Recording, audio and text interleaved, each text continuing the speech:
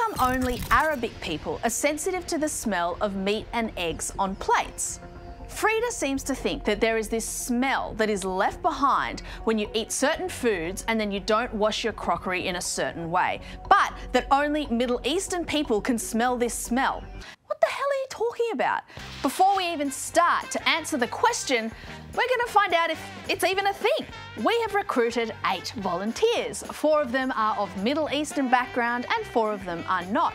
The volunteers will take turns sniffing 10 plates. Five of the plates have had eggs previously placed on them and the other five have not. All 10 have since been washed gently with water and dried. And turns out our Middle Eastern volunteers guessed an average 3.5 out of the five eggy plates correctly. Our non Middle Eastern volunteers only guessed an average of 0.5 correctly. In other words, Frida's got a point. So I visited her at the kitchen where she works. All right, Frida, you've got my attention. What is this mystery smell? Zankha. Zankha. Zankha. Zankha. Zan. Zan. Ha. Ha. Ha. So what does zankha mean? It's hard to explain, but like it would be on plates, like after you make eggs or you deal with chicken. Even sometimes when you cook the chicken or cook meat, if you haven't washed it properly, you get a zankha smell. How do I get rid of the smell? Do I just wash it? No, if you just wash it with hot water, the smell's still gonna stay. So you gotta rinse it with cold. Right. Now, we know that this mystery smell is real, and we know there's a word for it in Arabic. But one thing I can't. Actually, do you mind doing this bit for me? I've kind of got my mouth full. Sure thing.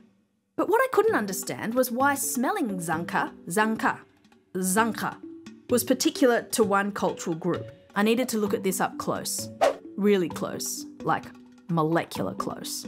This is Professor Russell Keast, an expert in food and sensory science at Deakin University. And for some reason, he's agreed to help us isolate the chemical composition of the Zankha smell. What were the main aromas that we picked up in the experiment? Well, there, there was actually a lot, and, and a lot of diverse aromas. No one was what we would call Zankha, but, but if we go through a few, we've got grass, tallow, citrus, rancid, pine, turpentine, almond, burnt sugar, mushroom, lemon, green, orange, plastic, fat, sulphur, earthy, burnt onion, and spice. So there's a lot of components to this smell, but they're not necessarily bad individually. Generally, this is what happens that you've got your compounds which have characteristic aromas to them, like you know the mushroom or the almond. When they're mixed together in the right proportions, maybe then that combination creates something that's unpleasant. Is it possible that there is an aroma that only some people can smell? One that comes to mind is a mousy taint um, that, that occurs in wine, but not everyone can get it, and, and it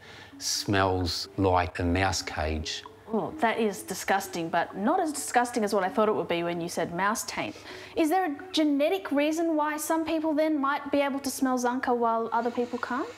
I wouldn't think so. It's very unlikely that somebody would have a genetic predisposition not to identify all of those compounds. So it's more likely that it is a smell that people learn to pick up on in their upbringing? That's right. Thank you so much, Professor, and may I say with utmost respect, smell you later. Smell you later, Alex. So we've identified a bunch of chemicals that make up the smell. Amazing. Great job. Thanks. But what we still don't know is why some people can smell smells while others smell nothing. Well, because some people have a word for it, right? So does that mean if you don't have a word for a smell, you can't smell it? Don't ask me.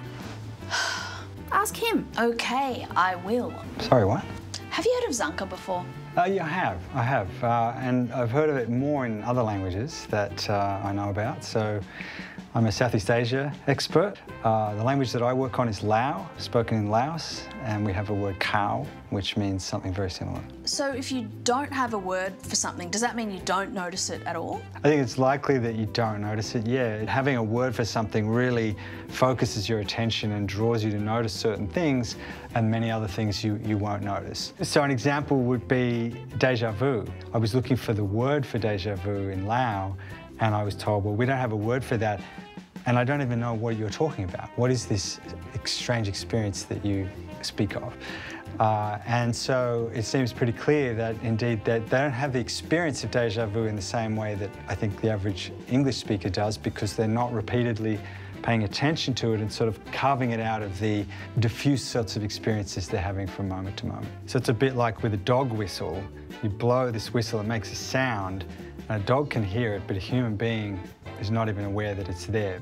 Or like how some people can hear me talking right now while you can't. yeah, she makes a great point.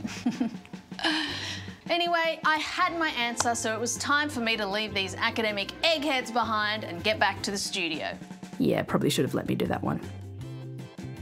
So, if you can smell something on your plates, it's probably because the culture you were brought up in makes you more attuned to it. But if it was never part of your culture, even if the smell was in your home, it's probably not going to be something that you understand. Still, if you keep talking about it and thinking about it, it might become a part of your culture, and then you might start to be able to smell it too. Oh my God, I can smell it. Oh no, I've ruined plates for myself. Damn.